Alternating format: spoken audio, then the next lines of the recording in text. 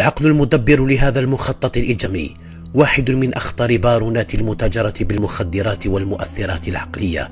إنه المدعو شين شعيب المكنى جابوج أو الحاج الهارب بفرنسا والذي صدرت في حقه خمس مذكرات توقيف دولية. خطة المكنى الحاج ضمت عدة مراحل لاقتناء ونقل وإخفاء وترويج المؤثرات العقلية. بدأت بإرسال صهريج زفت تجره شاحنة إلى ولاية تامنراست أين يتولى المدعو السعيد مهمة شحن الصهريج بالمؤثرات العقلية عبر مدخل أسفل الصهريج يصعب على غير من أعده اكتشافه.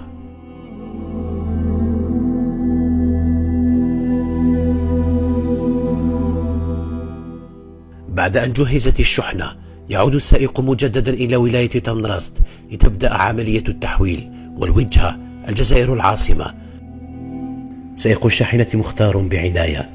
ستيني لا يلفت الانتباه معتاد إجرام يخفي العديد من الأسرار.